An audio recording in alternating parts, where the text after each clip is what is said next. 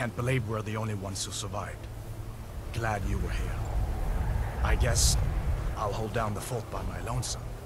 Hurry back and tell them to send a garrison. Quickly.